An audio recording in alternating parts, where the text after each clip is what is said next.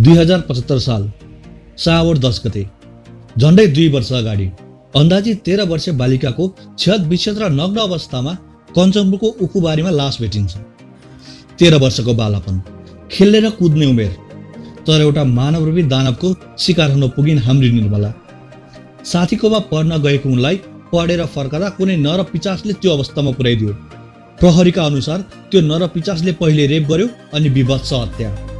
तर यो घटनामा त्यहाँको लोकल अथोरिटीले केही पनि बोलेन केही कमेन्ट गरेन। अनि सुरु भयो जस्टिसका लागि प्रदर्शन। पहिला त्यहाँका स्थानीयले प्रदर्शन गरे। अनि छिट्टै नै देशभरि भयो निर्मलाको न्याय माग्दै सडकमा प्रदर्शन। लगभग एक महिनापछि भदौ तिन गते।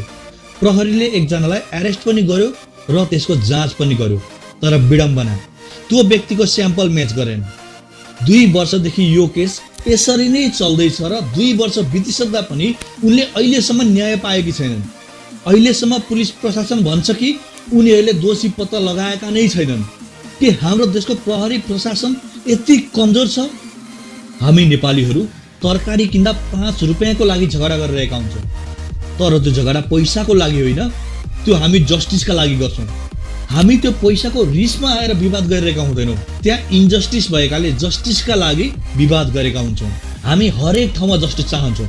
चाहे त्यो घर होस् चाहे त्यो विद्यालय होस् चाहे त्यो बाटो होस् मिडिया होस् प्रहरी होस् वा कोर्ट नै होस्। We all want and we all need justice निर्मलाको case पनि त्यसैको उपज हो। दुई वर्ष भइसक्यो तर केस जिउका त्यौँ छ र अब पनि ढिला भयो भने केही हुनेवाला छैन। किनकि justice delayed is justice denied त्यसैले अब जस्तो थियो त्यस्तो हुँदैन र हुनेवाला पनि छैन।